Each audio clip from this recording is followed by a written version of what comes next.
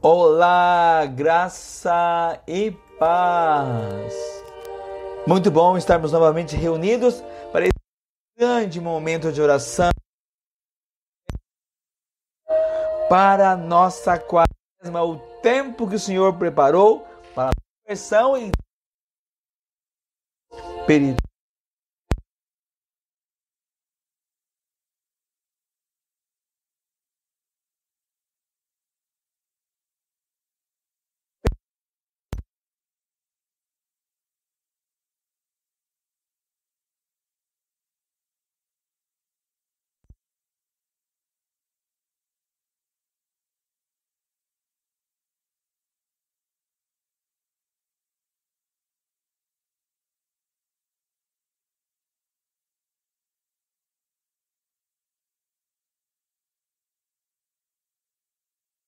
dia todo fuja da culpa e do pecado. Que o tempo da quaresma de idade. Vamos. Glória da Trindade. Amém. Glória ao Pai, ao Filho e ao Espírito Santo. O nosso texto hoje de meditação do Papa Leão, São Leão Magno do século bem da caridade. Diz o Senhor no Evangelho de João: Nisso todos conhecerão que sois meus discípulos, se tiverdes amor uns aos outros. E também se lê numa carta do mesmo apóstolo: Caríssimos, amemo-nos uns aos outros, porque o amor vem de Deus e todo aquele que ama nasceu de Deus e conhece a Deus. Quem não ama não chegou a conhecer a Deus, porque Deus é amor. Examine-se a si mesmo, cada um dos fiéis, e procure discernir com sinceridade os mais íntimos sentimentos de seu coração.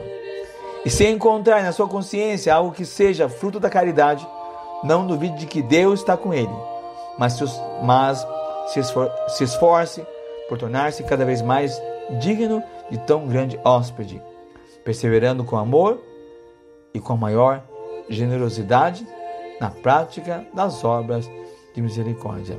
Se Deus é amor, a caridade não deve ter fim, porque a caridade de Deus, o amor de Deus, também não tem limites. Para praticar o bem da caridade, amados filhos, todo o tempo é próprio. Contudo, esses dias da quaresma, a isso nos exortam de modo especial. Se desejamos celebrar a Páscoa do Senhor com o espírito e o corpo santificados, nos esforcemos o mais possível para adquirir essa virtude que contém em si todas as outras virtudes e cobre então uma multidão de pecados. A caridade, o amor, cobre uma multidão de pecados. Ao se aproximar da celebração deste mistério que ultrapassa todos os outros, o mistério do sangue de Jesus Cristo, que apagou as nossas iniquidades, as nossas maldades, o nosso pecado. Nos preparemos, em primeiro lugar, mediante o sacrifício espiritual da misericórdia. O que a bondade divina nos concedeu, demos também nós àqueles que nos ofenderam. Seja nesse tempo mais larga a nossa generosidade com os pobres, os que, os que sofrem, a fim de que os nossos jejuns possam saciar a fome de indigentes e se multipliquem as vozes que dão graças a Deus. Nenhuma devoção dos fiéis agrada tanto a Deus como a dedicação para com os pobres, seus pobres, pois nessa solicitude misericordiosa, ele reconhece a imagem da sua própria bondade. Não temamos que essas despesas diminuam nossos recursos, porque a benevolência é uma grandeza, uma riqueza e não pode faltar meios para a generosidade, onde Cristo alimenta, onde Cristo é alimentado e é alimentado. Tudo isso intervém aquela mão divina que ao partir do pão o faz nascer, faz crescer, ao reparti-lo multiplica. Quem dá a esmola, faça com alegria e confiança, porque tanto maior será o lucro, quanto menos guardar para si conforme diz São Paulo. Aquele que dá a semente ao semeador, lhe dará pão com alimento. Ele multiplicará vossas sementes e aumentará os frutos da vossa justiça em Cristo Jesus, o nosso Senhor, que vive e reina, e o Espírito Santo, com o Pai pelos séculos dos séculos. Amém. Dai aos outros vos será dado. Boa medida, sacudida, recalcada, transbordante, de bom grado vos darão. E como Cristo vos deu perdão, perdoai-vos também uns aos outros. Amém.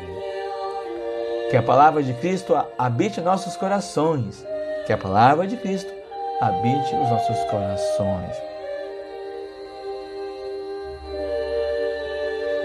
Que o Espírito Santo nos ensine e nos faça testemunhas da vossa verdade, bondade e misericórdia, para animar os pobres, os tristes, os que vacilam e, aqueles que erram. Purificai, renovai a nossa fé nesse tempo da Quaresma.